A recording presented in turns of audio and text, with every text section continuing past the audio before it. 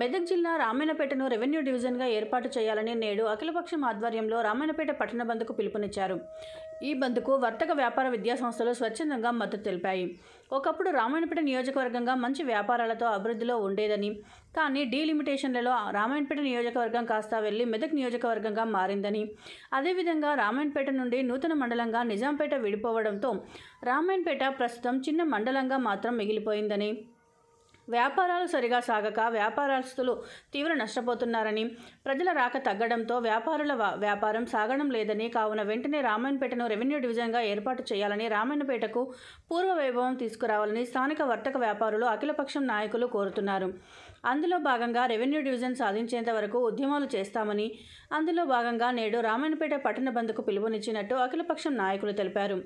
గతంలో కూడా నూట ఎనభై మూడు రోజులు రామాయణపేట రెవెన్యూ డివిజన్ కావాలని అఖిలపక్షం ఆధ్వర్యంలో ఉద్యమాలు చేశారు. మలివిడత ఉద్యమంలో భాగంగా నేడు రామాయణపేట బంద్కు పిలుపునిచ్చి రామాయణపేట రెవెన్యూ డివిజన్ సాధించేంత వరకు ముందుకు సాగుతామని అఖిలపక్షం నాయకులు తెలిపారు. జై డివిజన్ జై రామాయపేట డివిజన్. ఈరోజు రామాయపేట బంధు ఎందుకంటే రామాయపేట రెవెన్యూ డివిజన్ కోసం అఖిలపక్షం అఖిలపక్షం నాయకుల సమిష్టి నిర్ణయం మేరకు మొత్తం అన్ని కుల సంఘాలను వ్యాపార వర్తక వాణిజ్య వర్తక సంఘాల మేరకు మొత్తం బంధుకు పిలిపించినాము.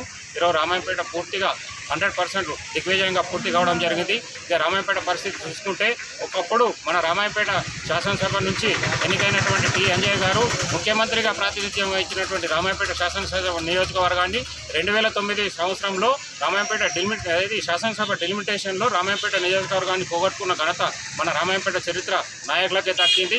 రాను రాను మరి మండల్ బైఫర్కేషన్లో కూడా రామాయపేట ప్రాంతం అతి చిన్న మండలంగా కేవలం పది గ్రామాలకు మాత్రమే పరిమితమై పూర్తిగా అన్ని రంగాలలో వెనుకబడిపోయింది. దీన్ని దృష్టిలో ఉంచుకొని కనీసం మరి మేము రెండు వేల పదహారు సంవత్సరంలోని నూట ఎనభై మూడు రోజులు నిరారణ దీక్షలు చేసిన సంగతి ప్రతి ఒక్కరికి తెలిసే ఆ సందర్భంలో అప్పటి మంత్రి ఆర్థిక మంత్రి హరీష్ రావు గారు సూచన మేరకు ఆయన క్యాంప్ ఆఫీస్కు పిలిపించుకొని మళ్ళీ తెలంగాణ రాష్ట్రంలో కొత్త డివిజన్ కనుక ఇచ్చినట్టయితే ఫస్ట్ రామాయపేటకే ప్రాతినిధ్యం మొ- మొదటి ప్రాధాన్యత ఇచ్చి రామాయపేట డివిజన్ ఇచ్చినాకనే తదుపరి వేరే ఇస్తామని చెప్పేసి మాకు మాట ఇవ్వడం జరిగింది. అటు సందర్భంలో మేము ఆ టెంట్ తీసేయడం సందర్భంలో మరి తెలంగాణ ప్రాంతంలో మాకు మాటించిన తర్వాత ఒక ఆరు ఏడు డివిజన్లు ప్రకటించారు. ఇప్పటి వరకు కూడా రామాయపేట డివిజన్ ప్రకటించకపోగా మళ్ళీ ఎలక్షన్లలో మున్సిపల్ ఎలక్షన్లలో వచ్చి ఆయన దత్తత తీసుకుంటానని చెప్పేసి వాగ్దానం తీసుకొని దత్తత తీసుకొని రామాయపేట ప్రజలందరికీ తెలిసే పూర్తిగా ఇంతవరకు కూడా ఎలాంటి అభివృద్ధికి నోచుకోలేదు. మరి మండల్ బైఫర్కేషన్లో మోసపోయాము.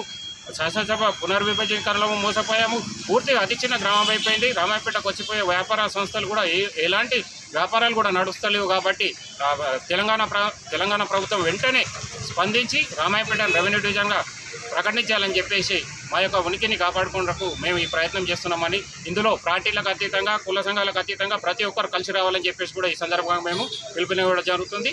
జై రామాయపేట జై జై రామాయపేట.